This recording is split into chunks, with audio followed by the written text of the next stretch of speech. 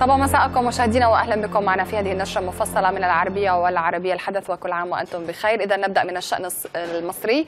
إذ نعتت الرئاسة المصرية بعد نحو عشرة أيام محاولات الوساطة الغربية والعربية لحل الأزمة السياسية في مصر حيث أعلنت الرئاسة رسميا فشلها وانتهاءها محملة جماعة الإخوان المسلمين المسؤولية عن هذا الفشل.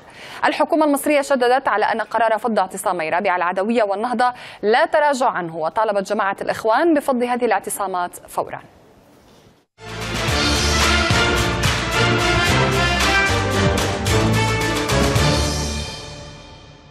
تجاوزوا كل حدود السلمية وذلك بالتحريض على العنف وممارسة واستخدام السلاح.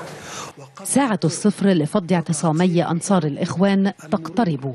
فجماعة الإخوان تصر على التصعيد والرئاسة تحملها مسؤولية فشل جهود الدبلوماسية لحل الأزمة وتحملها أيضا تبعات خرق القانون وتعريض السلم المجتمعي للخطر. الحكومة المصرية أعلنت نفاذ صبرها وناشدت أنصار الإخوان فض اعتصامهم في رابع العدوية والنهضة وصفة إياهم بالمغرر بهم. فإن المجلس يعيد تأكيده على أن قرار فض اعتصامي ربع العدوية والنهضة هو قرار نهائي. توافق عليه الجميع. ولا رجعة عنه. على الإطلاق. أكثر من شهر مر على عزل الرئيس السابق محمد مرسي وزيارات الوفود الدولية لم تنقطع.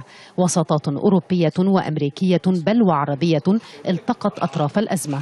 ووصلت إلى حد زيارة خيرة الشاطر نائب مرشد الإخوان في محبسه في سجن العقرب.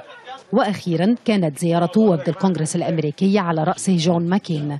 الرئاسة انتهت إلى أن الضغوط الأجنبية تجاوزت الأعراف الدولية بل ووصفت تصريحات ماكين بالخرقاء ورفضتها جملة وتفصيلا. بيان الرئاسة النهاردة كان واضح ومباشر وصريح وكان إعلانا بفض السيرك الدولي المنصوب.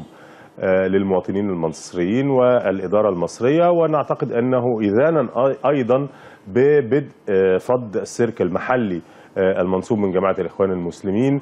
لم تكن الحكومة الجهة الوحيدة التي وصفت ما يحدث في اعتصامي رابعة العدوية والنهضة بالعنف والبلطجة إذ أن منظمات حقوقية رأت خطورة في استمرار اعتصام أنصار الإخوان. أتمنى على الإخوان المسلمين ألا يتم استخدام القوة للرد على الفض الفض إجراء قانوني وفقا للقانون المصري وفقا للمعايير الدولية وهو التزام على الدولة المصرية بحماية المصريين من العقاب الجماعي وزي ربعة السكان هناك بيتعرضوا لعقاب جماعي في تعذيب بيتم داخل الاعتصام. أمام تشديد الحكومة على أن قرار فض اعتصامي رابع العدوية والنهضة لا رجعة فيه. يصر الإخوان على الخروج في مليونية أول أيام عيد الفطر. عيد ربما لن يخلو من العنف بحسب مراقبين. فالأجهزة الأمنية تستنفر والغضب والاحتقان في الشارع المصري في تزايد ضد الجماعة. إنجي القاضي العربية القاهرة.